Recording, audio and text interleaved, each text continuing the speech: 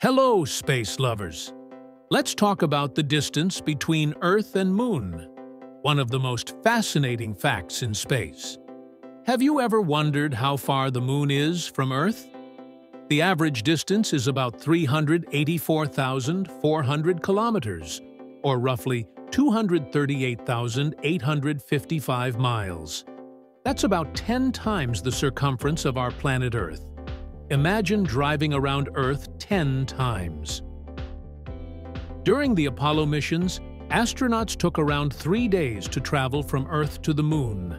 But the distance isn't always the same. Because the Moon orbits Earth in an elliptical path, the distance changes slightly over time.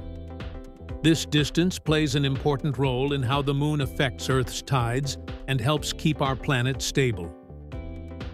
If you enjoyed this quick space lesson, don't forget to like and subscribe for more amazing facts.